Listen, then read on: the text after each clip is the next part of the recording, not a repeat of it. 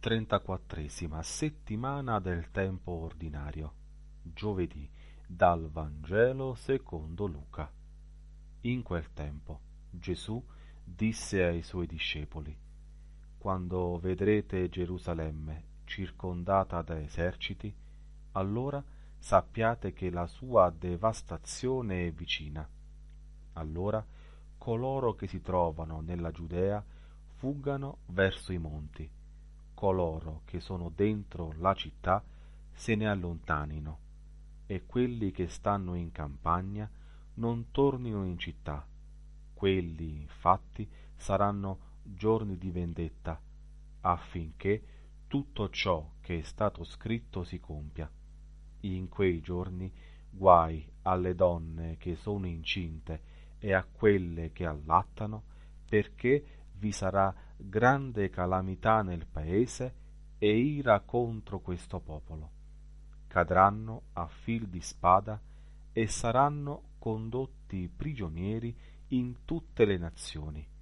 Gerusalemme sarà calpestata dai pagani, finché i tempi dei pagani non siano compiuti.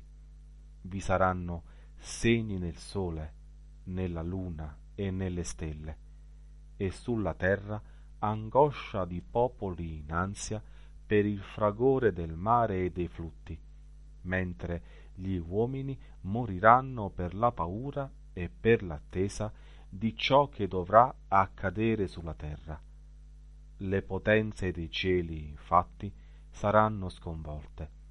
Allora vedranno il figlio dell'uomo venire su una nube con grande potenza e gloria quando cominceranno ad accadere queste cose, risollevatevi e alzate il capo, perché la vostra liberazione è vicina.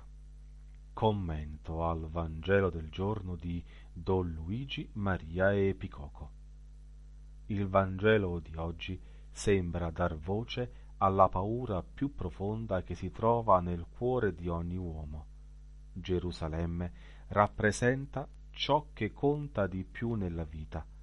Ognuno di noi ha la sua Gerusalemme e sarebbe interessante scoprire qual è il suo vero nome proprio rispetto alla nostra vita. Fatto questo, ci accorgeremo che la paura più grande è perdere ciò a cui teniamo di più. Quando vedrete Gerusalemme circondata da eserciti, allora sappiate che la sua devastazione è vicina. Allora vedranno il figlio dell'uomo venire su una nube con grande potenza e gloria. Quando cominceranno ad accadere queste cose, risollevatevi e alzate il capo, perché la vostra liberazione è vicina. Nel bel mezzo della paura un cristiano lo si riconosce quando prende sul serio la parola di Gesù nel Vangelo di oggi. Risollevatevi e alzate il capo, perché la vostra liberazione è vicina. La paura, invece, ci spinge ad abbassare il capo, a richiuderci, a raggomitolarci. Dobbiamo, invece, decidere di alzare lo sguardo, di metterci in piedi, e di affrontare le cose che ci sono davanti, fosse anche la fine del mondo, o di un mondo che ci siamo costruiti da soli o ci hanno costruito intorno. E la forza di questo gesto di coraggio ci viene da, da Gesù stesso, che proprio nel bel mezzo di ciò che ci spaventa si fa spazio e ci viene incontro ma se crediamo di più alla paura e al dolore, allora non avremo occhi per riconoscerlo. O si crede in lui, o si crede solo a ciò che si prova, che equivale a guardarsi i piedi. E uno che si guarda i piedi, invece di guardare avanti, rischia di sbattere e di farsi male non possiamo non provare paura, ma possiamo però disobbedire, smettere di farla decidere al posto nostro. Questo è il cristiano, uno che ha paura ma che si sforza di non farla comandare.